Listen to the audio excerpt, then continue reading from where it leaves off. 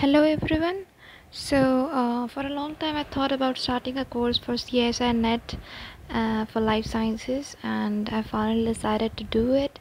So three through these series of courses uh, we'll talk about all the topics that is important for qualifying the CSIR Net for life sciences. Mm, this one is the first one and in this video we'll be talking about sex chromosomes right so let's start with that. Sex chromosomes. So most animals show sexual dimorphism. Or in other words an individual can be either a male or a female. In most of these cases sex is determined by special sex chromosomes.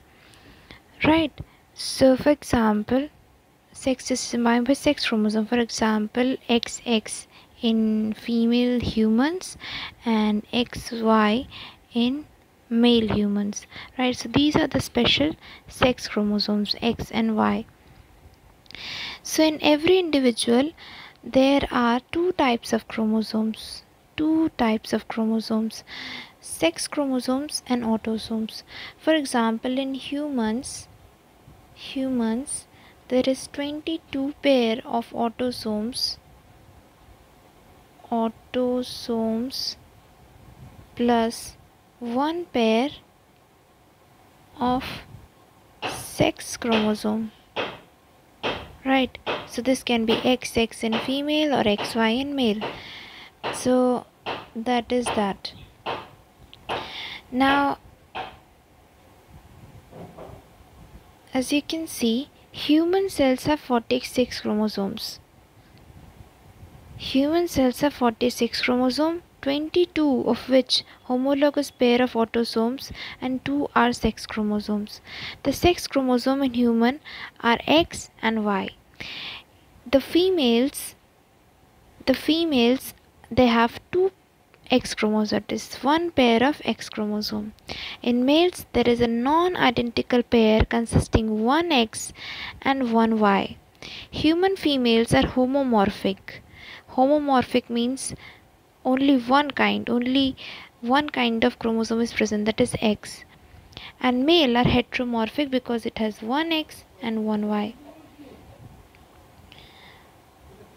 Now y chromosome is relatively shorter relatively shorter than x and has around 397 genes.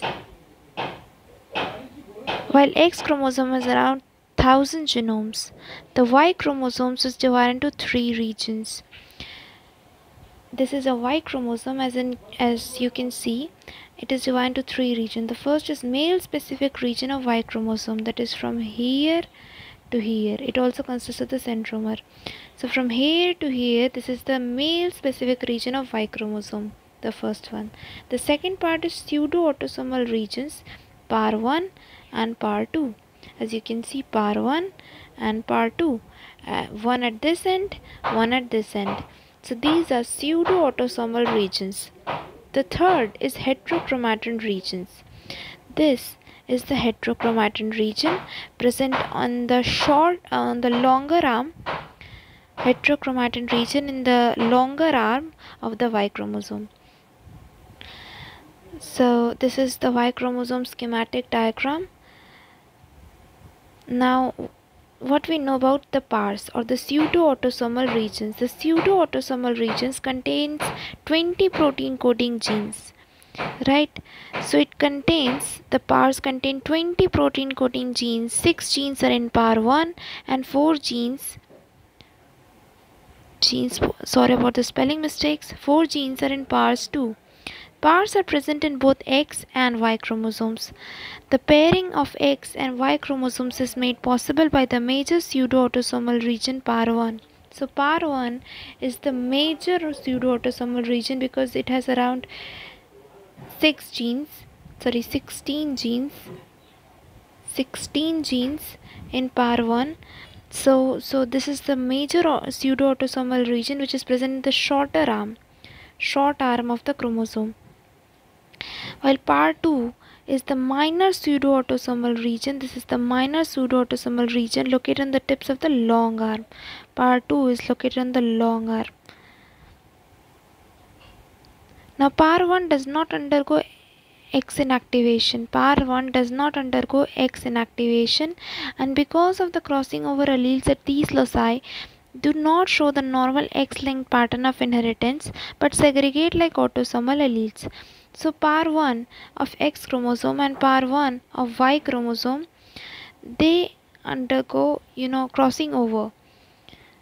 So so they do not really show the X-linked patterns of inheritance.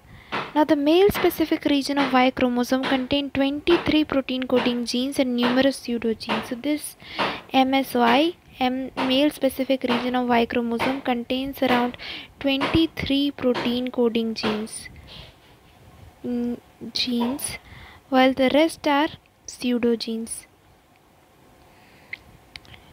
Now in this figure we can see that in female there is 2x 2xx chromosome and in male there is 2x 1x and 1y chromosome now in female the par 1 is present at one end the par 2 is present on the other end while npx which is non pseudo autosomal region of x chromosome is present on the rest of the part. Right? So this is x chromosomes in female. While in male the one is x chromosome just like this one. The y chromosome on the other hand also has one par 1 and one par 2 on two opposite ends of the chromosome. While this part is MSY which is male specific region of Y chromosome well this is the heterochromatin right so at each end of X and Y chromosomes, the parts are present which combine during meiosis and therefore contain the same genes. So the par 1 of X chromosome in female and the par 1 of uh, Y chromosome in male contain the same genes. Also the same about par 2. They the pars contain the same genes in a male and female X or Y. The pars in X or Y whether male or female contain the same genes. Same genes. Same. Same. Right? They contain the pars always contain the same genes whether male or female x or y they contain the same genes.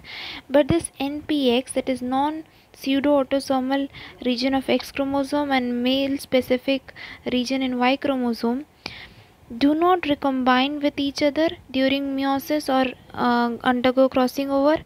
And so the difference between X and Y chromosomes arises because of differences in NPX and MSY. Because this NPX and MSY between X chromosome and Y chromosome, they do not recombine. These regions do not recombine with each other during meiosis. Hence, the differences between an X chromosome and a Y chromosome arises because of this NPX region and MSY region. Thank you for watching. Please like and subscribe. In the next video, we'll be talking about sex determination in humans and in some other organisms. Thank you.